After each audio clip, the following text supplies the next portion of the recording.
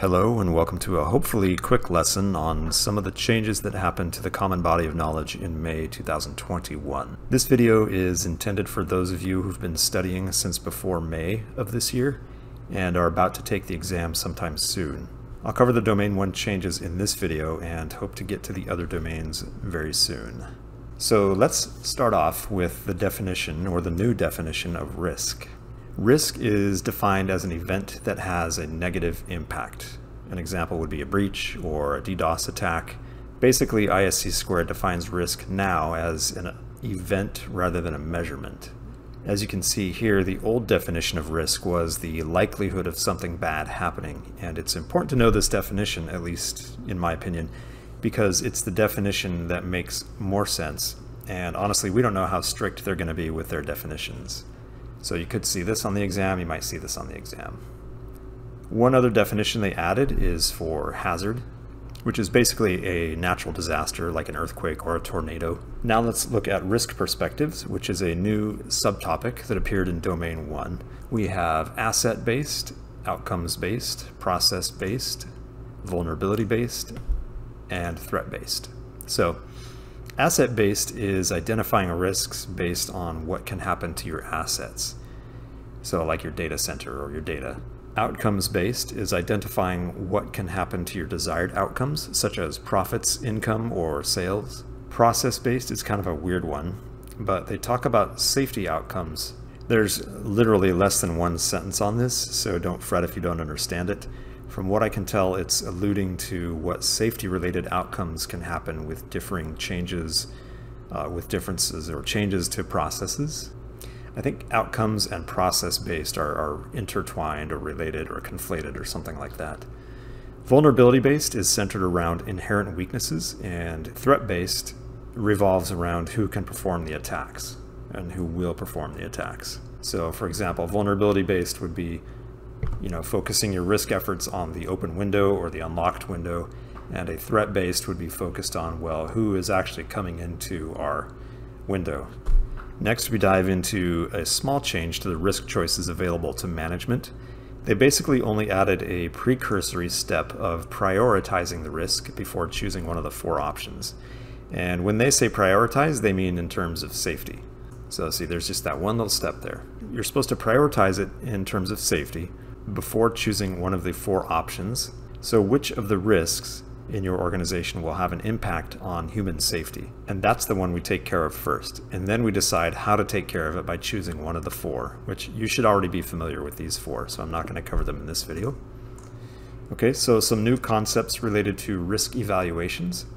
With qualitative, they're basically saying that everyone tries to use numbers and to not do that unless you're using something called FAIR, which provides a way for you to start and stay quantitative, even if the risk itself begs for a qualitative approach.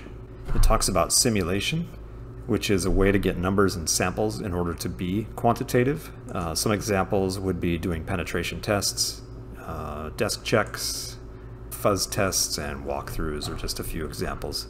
All right, moving on to some new topics related to due diligence and due care. We have prudent and reasonable actions. So a prudent action here is basically actions that most people like you and I, or people like you in a similar life circumstance, would do. So, for example, the speed limit is 55, but in a court of law, you might be able to argue that most prudent people don't eyeball their speed limit all the time and are usually within 5 to 10 miles over or under the speed limit. I don't know if that's a great example, but there it is. Uh, reasonable actions are decisions that have logical justification. So, for example, if you break someone's rib during a karate class, it's probably reasonably justified. But if you do that to a random person on the street, it's probably not going to hold up as reasonable in court. Okay, so a fairly big change with training and awareness.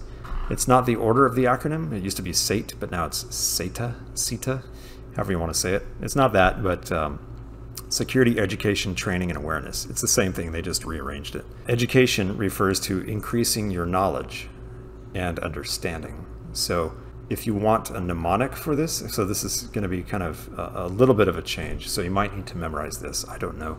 Education is edification. training, it focuses on improving your skills and proficiency with certain tasks. So it's very task focused. Your skills, your proficiency. So education, edification, training tasks.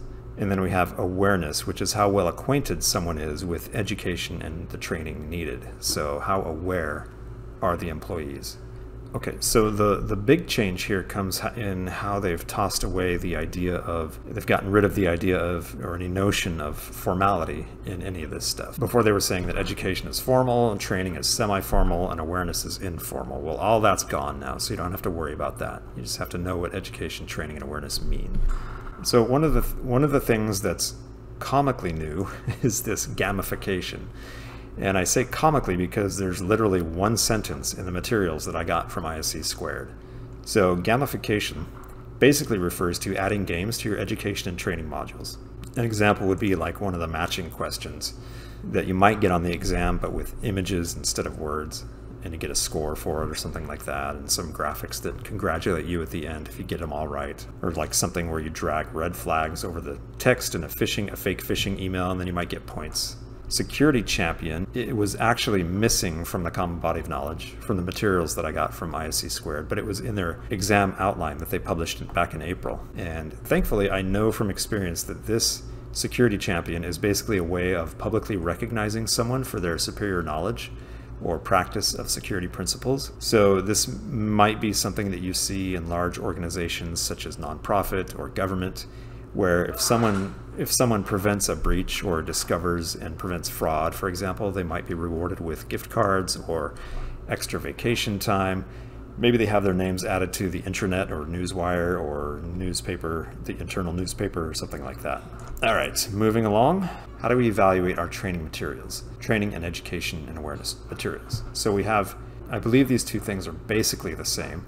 We have periodic content review, which are basically where an employee looks at what needs to be updated and whether or not anything is irrelevant in the training and awareness. So, for example, the laws that are cited, whether or not the links are still relevant, whether or not the topics like phishing emails are relevant. Right now, phishing emails are, are very relevant.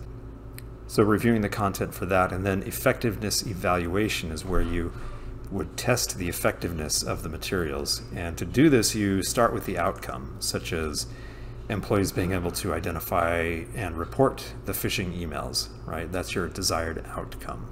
Due diligence is mentioned in this module in the context that when you evaluate, you've done your due diligence.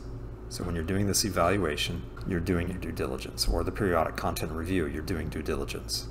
And when you're when you provide the training to your employees, you're providing, you're acting under due care. You're doing due care activities when you're actually doing the training.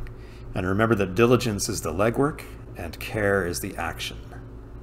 It's just a simple way of remembering it. Uh, thanks to Kelly Handerhan from Cybrary for that.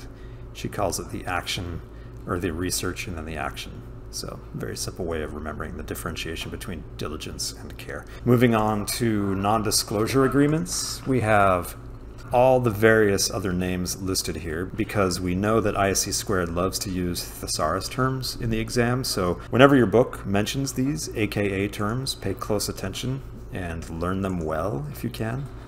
So, we have confidentiality, confidentiality agreements also uh, confidentiality disclosure agreements, proprietary information agreements, or secrecy agreements. So in the category of NDAs, we have unilateral. This is basically a one-way disclosure, meaning that one company is disclosing something, maybe a flat file that's sent to another organization for processing its downstream products. Bilateral is two-sided, so for example, we send you a flat file, you match it to your database, add stuff to it, send it back, and everyone's happy. Uh, multilateral just refers to three or more parties in the agreement. And a non-compete agreement, this basically is an agreement where the subject party says, we won't use your stuff to become your competition, like your secret sauce or your secret recipe or your formulas or blueprints, etc. Moving on to the GDPR privacy tenets.